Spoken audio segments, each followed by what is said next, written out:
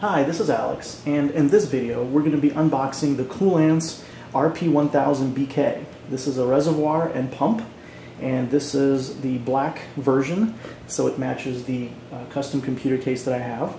And this is basically a drop-in unit that fits into a five and a quarter inch drive bay, uh, so you can do all of your uh, cooling needs uh, inside of your machine.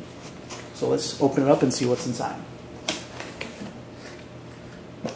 There's a document here, a user's manual on how to use it, all the different, uh, all different tools you need, and the actual unit itself, and how to connect it, and so on. So, very useful manual. And here's the actual unit.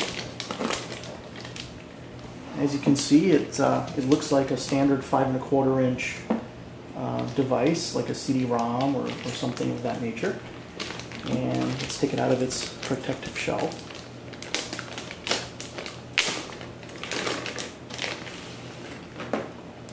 Okay, so here in the front, um, looks very nice here.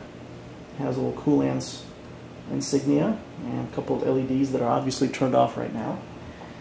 And it has this uh, reservoir tank measurement to show you how, uh, how much water is in the unit.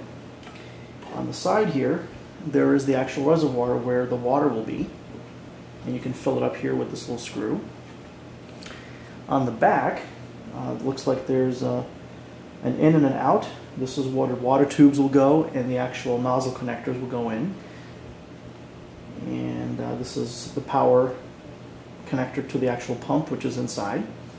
There are three temperature sensors, one, two, and three.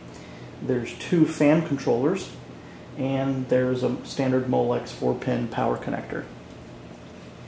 And that's pretty much it. Nothing on the back, nothing on the sides. And uh, I guess this concludes this portion of the video. Stay tuned for, oh wait, there's, uh, there's more. So here is some uh, cable special cable with some connector tips and this particular connector you attach to two specific uh, ports on the motherboard and it will make the motherboard appear to be on to the power supply. And the purpose of this is so that you can run the unit and have all of the water be flowing through the system without the computer physically on.